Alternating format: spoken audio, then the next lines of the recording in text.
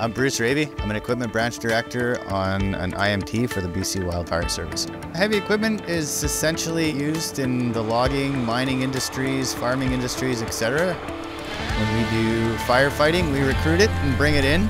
It's a pretty integral piece in the fire world. The intent with the heavy equipment is to build guard for the fire. We try to do as little damage as we can by using what's out there to start. So we try to use existing roads, rivers, seismic lines, the box to fire in. And if we can't use the roads or the existing infrastructure, well, that's where we'll get our line locators in our equipment group to try to create that box where that makes sense, where the topography allows us to put these lines in.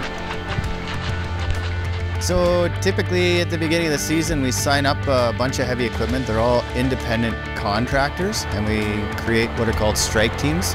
The strike teams that we put together would include a dozer, an excavator, a feller buncher, and a skidder. A lot of times they are from the same company, from major licensees, smaller companies, First Nation groups. They've worked together. They really speed the process up.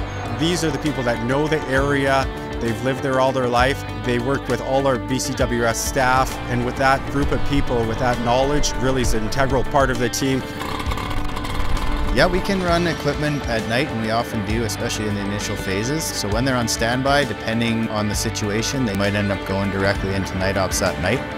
So we'll have a day shift and a night shift and that really helps us get ahead of the fire and get that line completed in time. The fire activity is a lot lower. If we need to, we can get a little closer to the fire edge. They have bright lights that is almost daytime when they're operating. We have nighttime supervision. We usually have a fire crew with them to uh, monitor fire activity. So it's sort of a symbiotic relationship with the crews. We can get out there guard either directly along the fire line and then clean it up in between with some drip torches, or we can get a little bit further away and build a guard to do planned ignitions.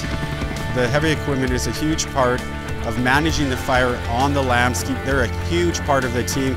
We all work together, and without them, it, it would not be the same. This is how we fight fires.